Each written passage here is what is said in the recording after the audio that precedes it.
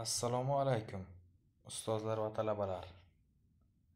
Bugungi darsimizning mavzusi qayta tiklanuvchan energiya manbalari. Biz darsimizni to'rtta rejaga bo'lib olamiz. Birinchi rejamiz noan'anaviy energiya manbalari. Ikkinchi rejamiz quyosh elektr stansiyasi tarixi haqida. Uchinchi rejamiz shamol elektr stansiyasi tarixi haqida. To'rtinchi rejamiz geotermal suv energiyasi haqida ma'lumot. Boshladik. Noan'anaviy energiya bu hali rivojlanmagan, insonlar ongiga sinmagan va ommaviylashmagan energiyani tushunishimiz mumkin. Elektroenergetika insoniyat tarixida muhim o'rin egallaydi. Uni rivojlantirish darajasi jamiyat ishlab chiqarish kuchlari va ilmiy texnika taraqqiyoti darajasini belgilaydi. Hozirgi zamonni energetikasiz tasavvur qilish juda qiyin.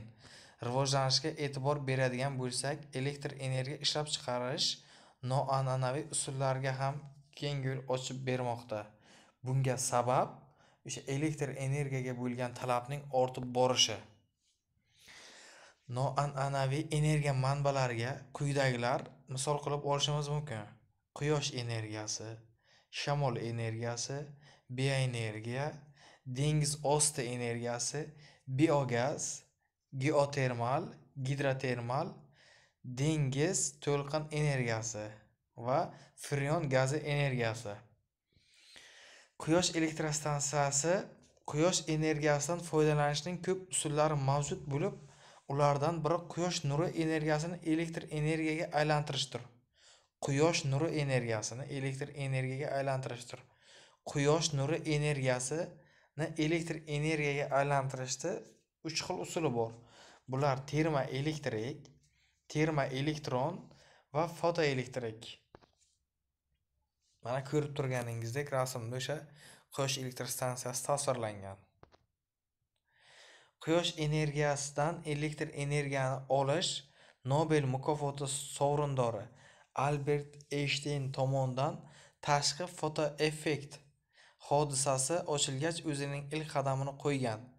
U 1905-yili Planck gipotezasiga tayangan holda chop etgan ishiga ko'ra, yorug'lik kvantlari metalldan ancha miqdorda elektronlarni urib chiqarishi mumkinligini ko'rsatgan.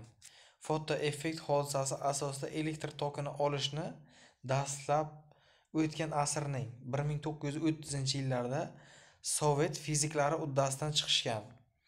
Bu ish mashhur fizik, akademik A.F. Ioffe rahbarligi ostida amalga oshirilgan. 1954-yilga kelib amerikaliklar Pearson, Fuller va Chapellar foydalanish koeffitsiyenti 6% ni tashkil etgan kремniydan tayyorlangan quyosh elementlari yasaganliklari haqida patent olishga muvaffaq bo'lishgan. 1958-yildan boshlab kremniy quyosh elementlari Sovet va Amerika kosmik apparatlarining asosiy manbalari bo'lib qoldi. Mana ko'rib turganingizdek, bu quyosh elektrostansiyasini uylarimizga o'zimiz ehtiyojimiz uchun ham foydalanishimiz mumkin. Endi shamol elektrostansiyasi haqida gapirsak, shamol insonlar tomonidan o'zlashtirilgan eng birinchi energiya manbalaridan biri hisoblanadi. Quyoshdan ham oldin. Shamolning energiya zapaslari daryo gidroenergetikasidan um, GESlarni misol qilib oladigan bo'lsak 100 barobar ko'p. Lekin bugungi kunda dunyo bo'yicha 10 darajasi 7 megavat soat energiya ishlab chiqaradi. Bu ko'rsatkich dunyo energiya balansining 0.1 foizini tashkil qiladi. Bu degani o'sha mingdan 1 tashkil qiladi deganda. Keyin shamol energiyasi qurilmalarini ikki turga bo'lish mumkin. Birinchisi shamol mexanik, ikkinchisi shamol energetik.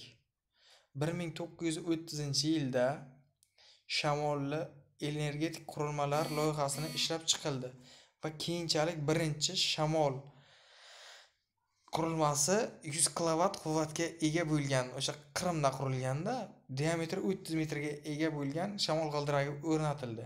shamol elektrostansiyasi ishlab chiqargan elektr toki sevastopol elektr stansiyasiga to'g'ridan to'g'ri ulangan ammo ikkinchi jahon urushi vaqtida vayronaga aylangan shamol uskunasini o'rnatishdan oldin shamol tezligi aniqlanadi. Shamol tezligi 5 kilometr soatdan past bo'lsa uni qo'yish tavsiya etilmaydida.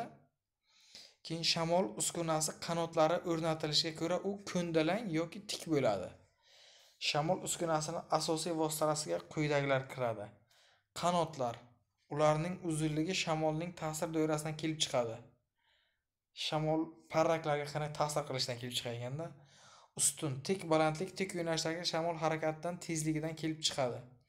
Mexanik energiyani elektr energiya aylantirib beruvchi jihoz va qurilmalar generatorlarda zamonaviy aerodinamik vintlar bilan jihozlangan shamol agregatlarida shamol harakat tezligi olti olti yetti yoki sakkiz kilometr soat. Shamol ta'sir doirasi ikki butun olti ko'paytirilgan o'n darajasi olti metr kvadrat bo'lganda bir yuz ellik megavatt energiya megavolt energiya olish mumkin. O'zbekiston bo'yicha shamol elektr stansiyalarini qurish metrologik jihatdan mos tushuvchi bir qancha tumanlar bor. Bular navoiy buxoro qashqadaryo toshkent qoraqalpog'iston viloyatlarini olish mumkin. Navoiy viloyatini zarafshon uchquduq tumanlarida respublikamizni boshqa joylariga qaraganda shamol ancha kuchli hisoblanadi. Keyin rasmda ko'rib turganingiz o'sha shamol elektr energiya ishlab chiqaruvchi qurilmasi tasvirlangan.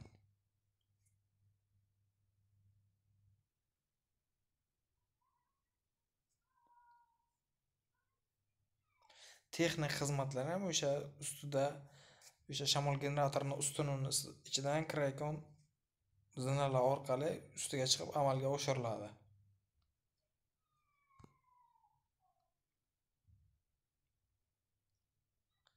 Mana sxemasini ko'rib turibsizlar. O'sha quyosh elektr stansiya e, shamol elektr stansiyasidan chiqayotgan energiya o'sha kontrollerga keladi.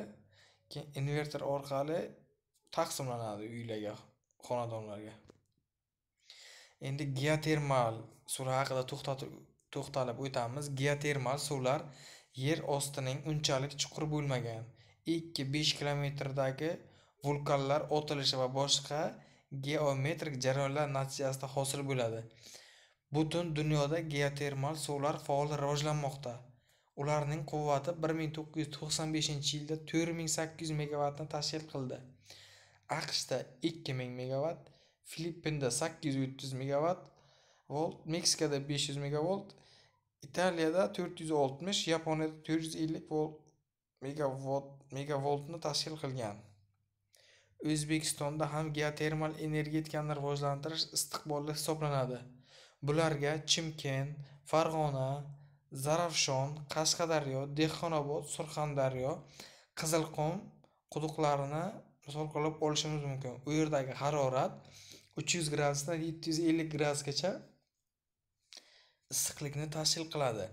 Geotermal elektrostansiya bu yer osti bug'larining harorati orqali elektr energiya ishlab chiqaradigan stansiya hisoblanadi. Birinchi bo'lib sssrda bir ming to'qqiz yuz oltmish oltinchi yilda kamchatkada paujetka daryosi bo'yida joylashgan. Uning quvvati o'n bir megavoltni tashkil etgan. Ko'rib turganingizdek issiq suv yerni ostidan chiqib kelib o'sha generatorlarni aylanib yana qaytib sovuq suv bo'lib pastga kirib ketyaptida qaytib tushyapti.